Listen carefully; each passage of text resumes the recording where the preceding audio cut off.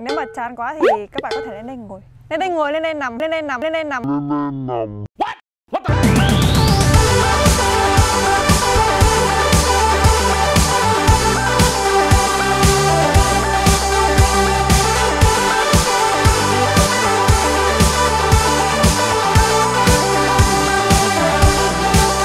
Xin chào.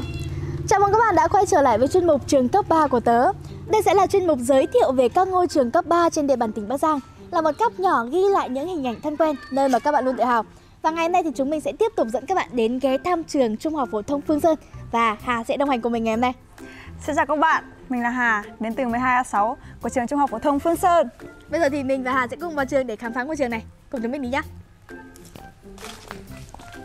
Ơn tại Ánh Dương còn có dịch vụ chụp kỳ yếu siêu hấp dẫn.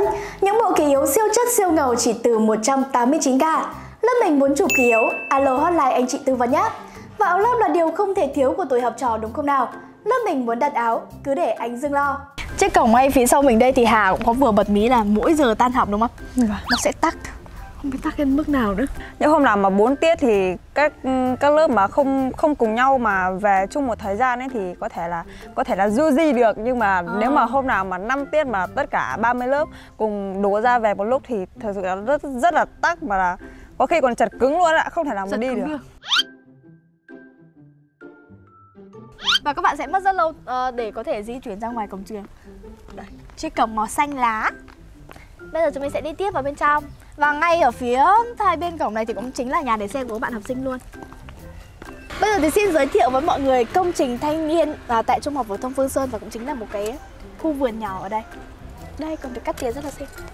Đây phía bên này. Và cũng ngay cạnh đây là có một bồn rửa tay dành cho tất cả các bạn học sinh. Ờ, cái này thì mới được đầu tư đúng không? Vâng. Ở ngay phía bên này thì cũng có rất là nhiều bảng biển à, biển báo giao thông cho các bạn. Vâng, vâng, hết. Bây giờ chúng mình sẽ đi tiếp vào phía bên trong. Chúng mình đang đứng cạnh trước bảng tin của Trung học phổ thông Phương Sơn. À, vậy thì bình thường trường em sẽ dán những cái thông báo gì ở đây? Như mọi người đã thấy là ở đây sẽ dán danh sách phòng thi của cả ba khối, khối 10, 11 và 12. Còn bình thường nếu mà không đến ngày thi thì ở đây sẽ dán những cái thầy khóa biểu hoặc là những cái thông báo của thầy cô ban giám hiệu muốn thông báo đến tất cả các bạn học sinh hoặc là các thầy cô thì sẽ ra đây xem ở đây. Ờ, Hà cũng có vừa bật mí đây chính là một cái góc sống ảo rất là lý tưởng cho các bạn học sinh ở Trung học phổ thông Phương Sơn nữa. Nếu mà các bạn đến với Trung học phổ thông Phương Sơn thì đây sẽ là một góc selfie rất là lý tưởng và các bạn đừng nên bỏ qua. Nhưng mà chúng mình có bỏ qua không nhỉ? Hà Hà, Hà, Hà Nam. Thế à? Thôi đi. Địa điểm tiếp theo mà chúng mình giới thiệu với mọi người đó chính là khu nhà A của trường ờ, Phương Sơn và đây thì cũng chính là nhà hiệu bộ này, ở nơi mà có phòng của thầy hiệu trưởng, phó hiệu trưởng, à, phòng họp hội đồng nữa và cả phòng văn thư nữa. Ừm, xin giới thiệu với chị luôn là ở tầng 1 của tất cả các khu hành lang thì đều có những cái chiếc gương mà hàng À. ngày các bạn và thầy cô đi qua đấy có thể đứng lại và ngắm nghía mình trong gương lại để xem quá trình chu đã hay chưa. Ở phía trên kia thì cũng có một cái dãy um, hành lang nối liền giữa hai tòa nhà A và tòa nhà B rất là xinh ở kia. Bây giờ chúng mình sẽ giới thiệu luôn cho mọi người hai khu nhà này B và C thì bọn em sẽ học như thế nào? Khối nào sẽ học ở đây? Tầng 1 là của khối 10, còn tầng 2 3 là của khối 12. Còn bên kia nhà C là toàn bộ là của khối 11. À, khối 11 Thế thì không biết là lớp của Hà ở đâu? Đây, lớp em ở đây, nghe nghe. Kia tầng 2 hả? Vâng, tầng 2, 12 Kia A6. à? Hết câu chuyện rồi nhịn lâu lắm rồi đấy chứ Điểm tiếp theo mà giới thiệu với mọi người đó chính là nhà đa năng. Vậy thì không biết là ở trong này bọn em sẽ tổ chức những hoạt động gì? Ờ, thường thường thì nhà đa năng sẽ dành cho các hoạt động ngoại khóa của khối 12 và trong này còn có những ờ, sân bóng chuyền, sân bóng bàn và sân cầu lông. Nếu mọi người có thể đến đây thì mời mọi người đến đây tham gia. Ok, những hoạt động thể thao của các bạn sẽ được tổ chức ở đây. Xin giới thiệu với mọi người sân bóng tại Trung học phổ thông Phương Sơn Và đây thì chính là nơi mà diễn ra những cái trận đá bóng của các bạn Và được đầu tư rất là xịn sò, sân cỏ, cả hệ thống đèn nữa Và đây là nơi... nơi gì? Đây sân bóng được coi là một nơi selfie không góc trên luôn các bạn ạ. Mà nếu các Ồ. bạn nếu mà không thích selfie hay là không thích đá bóng mà nếu mà chán quá thì các bạn có thể lên đây ngồi. Lên đây ngồi, lên đây nằm, lên đây nằm, lên đây nằm. tè luôn nhiều khi mình tè hiểu được Có thể làm bất cứ một cái gì đấy. Làm gì cũng được Ở đây rất là xinh Đây, rất là xịn Sân cỏ của các bạn Đây cũng chính là cái khoảng sân mà các bạn khi nãy thì có học quốc phòng và học thể dục ở đây luôn Dạ vâng, ờ, và ở bên kia là kia là sân bóng truyền dành à, sân bóng truyền ra dành cho các bạn. Còn à, bên kia nữa là sân bóng rổ dành cho những bạn mà có đam mê. Còn không thể thiếu ở đây là một cây sung. À, cây sung có gì Vâng. đặc biệt đấy không cây sung rất là lý tưởng cho các bạn học sinh khi đói ạ. và tất cả các thầy cô cũng vậy. khi đói á tại sao Tại vì khi đói thì cái gì cũng thèm mà chị. à sung hả Cây sung Ờ, thế thì nhất tiện đây thì hỏi luôn là không biết là ở trung học phổ thông Phương Sơn thì có những câu lạc bộ gì?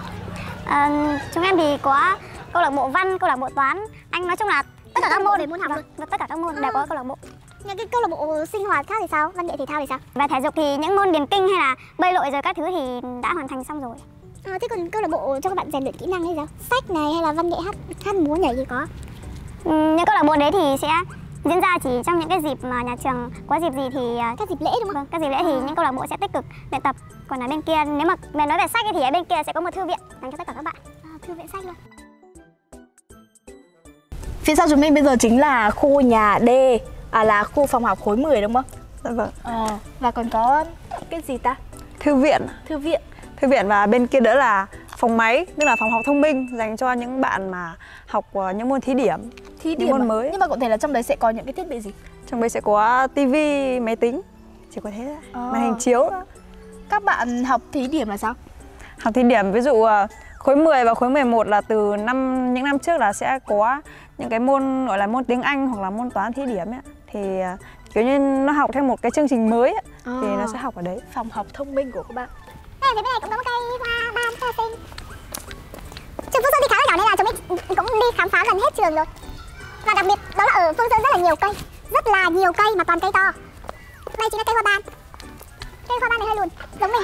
Ôi, xuất sắc mẹ luôn tưởng đây là cây đỗ đấy. Cây hoa ban mà. các em đang cười vào mặt mình tại sao các chị lại ra đi quay thùng rác giờ thì xin giới thiệu với mọi người một cái thùng rác rất là đặc biệt. À, mà nó giống một cái lò đốt rác mini đúng không? Không giống không những giống lò đốt rác mini nó giống còn giống cái tên lửa nữa mà. à, giống cái tên lửa. Và cái này thì Hạ có chia sẻ là vừa mới ờ, xuất hiện nhưng mà cũng mới đúng không Vâng. nhưng mà rất là đặc biệt trông rất là giống cái tên lửa Video khám phá trường Trung học phổ thông Phương Sơn thì sẽ phải dừng lại đến đây và hy vọng là một vòng khám phá của chúng mình đã giúp bạn hiểu thêm phần nào về ngôi trường này. Đặc biệt là gửi lời cảm ơn cô bé Hà đã đồng hành cùng chị ngày hôm nay. À, vâng và em cũng xin à, cảm ơn chị và cảm ơn tất cả mọi người đã ghé thăm ngôi trường của chúng em và đã cho em à, có thể giới thiệu nhiều thêm cho mọi người biết về à, ngôi trường đáng yêu này và nếu mọi người cảm thấy thích thì hãy like và share video để ủng hộ cho chúng em nhé Và bây giờ thì bye bye. Nhớ đăng ký kênh nha các em. Mình dẫn các bạn ghé thăm đó chính là Trung học phổ thông Phượng Sơn. Phương Sơn. Xin lỗi anh em Phương Sơn. Tôi đói rồi. Sáng nay ăn được, được 3 miếng xôi. Chị đã mở lời cho em mà em không nói gì nữa nào lại nha. Trông thế đâu em. anh ấy tấu hài lắm. Anh ấy đang giả vờ mình lạnh lùng á.